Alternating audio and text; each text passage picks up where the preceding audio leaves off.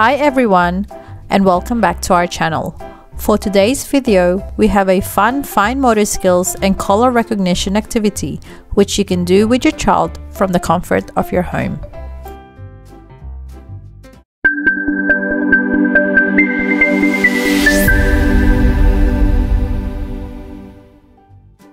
You have to put the blue on the blue uh, and then you have to get the pink and the pink.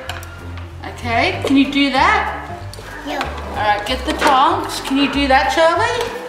You, no, no, no, no, no. So you get, from there you get the blue.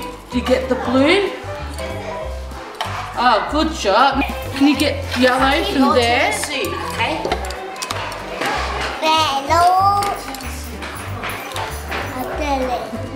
Well done Charlie.